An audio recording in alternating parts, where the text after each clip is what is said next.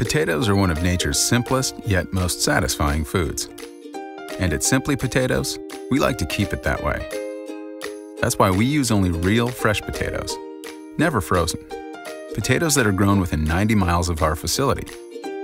So they quickly go from field to package for maximum freshness.